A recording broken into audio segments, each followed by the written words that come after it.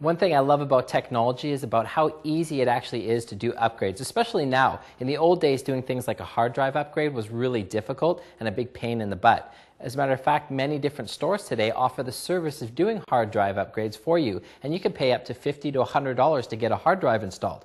Well, I'm going to show you on Get Connected today how easy it is to actually install new hard drives. First thing, whenever you open up your computer, the number one enemy against a computer insides is static electricity. So if you're in a dry area, even, even in a wet area, I should be wearing an anti-static device so that I don't pass any electric shocks into this computer, because that's what blows the transistors.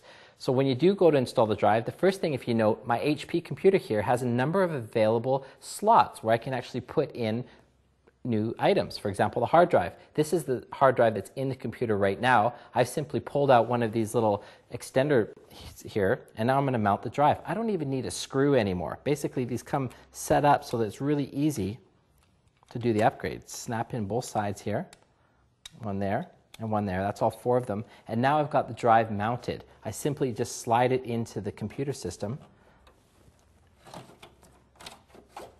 And hear that click? It's in place. I've actually physically mounted the drive. We're going to put in a one terabyte drive from Hitachi today, which is pretty cool. This is a SATA drive, so it works a little bit differently than the previous system. Basically, if you see down here inside the motherboard, I can put up to one, two, three, four, five SATA drive upgrades into this computer system here. So that's amazing. We can put five terabyte drives in there. So I'm going to take the cable. This actually came with the Hitachi drive. I'm simply just going to plug it in. And then all I do is connect to my drive. One last step, we need power. We've connected the physical drive to the motherboard so that now the computer can actually see that drive's there. The last thing we need to do is just plug in one of these little power guys right here you can see that this computer is upgraded so you can put in a number of them. Just slide that into place like so. Whoop, that popped off.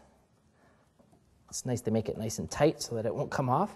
So then you've got the power, we've got the connection, we've got the drive mounted. I simply turn on the computer. The CMOS will automatically detect that there's a drive there. This one's going to be set up as a slave to my master, so that means that it's going to be an additional drive all ready to go. It's that easy to do an upgrade. There might be a couple different steps depending on the type of computer you have, but overall, we've got a one terabyte addition to our computer. We're ready to rock and roll.